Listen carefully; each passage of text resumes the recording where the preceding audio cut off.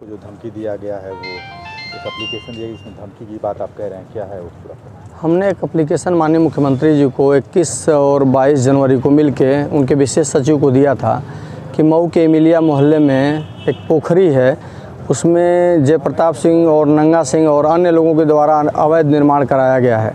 उस संदर्भ में हमने माननीय मुख्यमंत्री जी से मिल के ज्ञापन दिया था। कार्रवाई के लिए उस संदर्भ में माननीय मुख्यमंत्री जी के यहाँ से जाँच आख्या आई है। हम कल अपने घर पर अपने कुछ ज़रूरी काम निपटा रहे थे। उसी समय एक फ़ोन आया। हमने फ़ोन को रिसीव किया और पूछा कि कौन? तो कहे कि सुजीत बोल रहे हो। हम कहें हाँ सुजीत सिंह बोल रहा हूँ। तो उसने कहा कि मैं नंगा सिंह बोल रहा हूँ। तुमने माननीय मुख्यमंत्री जी को हमारे खिलाफ़ अवैध निर्माण और जो हमारा मैरिज हाल संचालित होता है, उसके खिलाफ़ तुमने कोई एप्लीकेशन दिया है क्या? तो हमने कहा कि हाँ हमने शिकायत की है।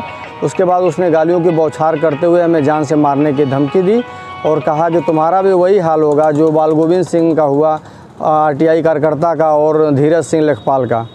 यही प्रकरण है। हम आज शिकायत की है? क्या किसी आज अम, मैंने कल कप्तान साहब को फ़ोन किया उनका फ़ोन रिसीव नहीं हो पाया। फिर एडिशनल एसपी को फ़ोन किया उनका भी फ़ोन रिसीव नहीं हो पाया। फिर मैंने सीओ सिटी से बात की फिर मैंने इंस्पेक्टर कोतवाली से बात की। आज मैं अभी एडिशनल एसपी के यहाँ गया था कप्तान के यहाँ गया था वहाँ पर कोई मतलब अधिकारी मौजूद नहीं थे।